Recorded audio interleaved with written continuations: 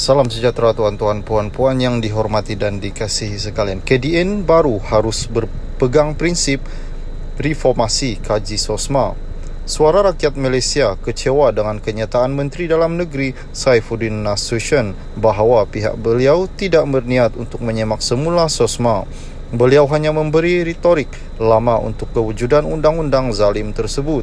Kenyataan Menteri KDN juga bercanggah dengan pendirian Pakatan Harapan yang pernah menolak usul pelanjutan tempos pelaksanaan subjection 4 kurungan 5 sosma di Dewan Rakyat pada Mac dan Julai 2022 yang lalu. Perkara yang harus diketahui oleh Menteri Dalam Negeri adalah SOSMA masih membenarkan penahanan tanpa bicara iaitu penahanan bawah kuasa polis selama 28 hari tanpa perlu proses mahkamah atau campur tangan magistrat. Orang kena tahan dinafikan hak dan akses kepada peguam dan ahli keluarga pada 48 jam pertama dan selepas itu hak OKT masih bergantung kepada budi bicara pihak polis peruntukan tersebut juga meningkatkan risiko OKT diseksa dan membuat pengakuan paksa tanpa pengawasan daripada pihak mahkamah atau magistrat. Bahawa SOSMA yang keempat, bahawa SOSMA Badan Kehakiman tidak mempunyai kuasa budi bicara malah sebaliknya pihak pendakwa raya yang memegang kuasa mutlak untuk menentukan sama ada seseorang itu diberikan peluang untuk diikat jamin atau tidak. Dalam hal itu, kebanyakan kes tidak diberikan jaminan.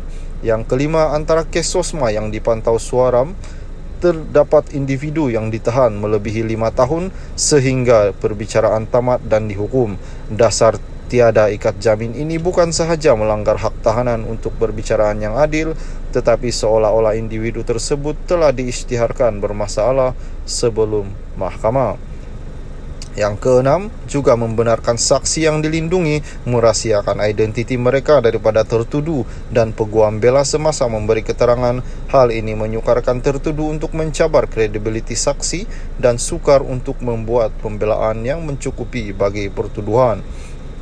Yang ketujuh bahawa sosma apa-apa penyataan dari seseorang tertuduh sama ada secara lisan atau bertulis kepada mana-mana orang di di bila-bila masa hendaklah boleh diterima sebagai keterangan tanpa mengira ia adalah pengakuan paksa atau sebaliknya. Oleh hal yang demikian, kami ingin menegaskan bahawa kenyataan Saifuddin mengenai peruntukan SOSMA adalah tidak tepat sedangkan ia jelas melanggar prinsip perbicaraan yang adil di bawah perlembagaan Malaysia dan piawaian antarabangsa.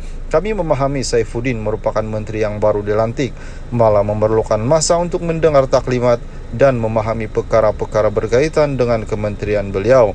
Namun kami ingin menggesa agar beliau juga mendengar pandangan para pemegang taruh termasuk kumpulan masyarakat sivil sebelum memberi sebarang kesimpulan terutamanya dalam isu hak asasi manusia.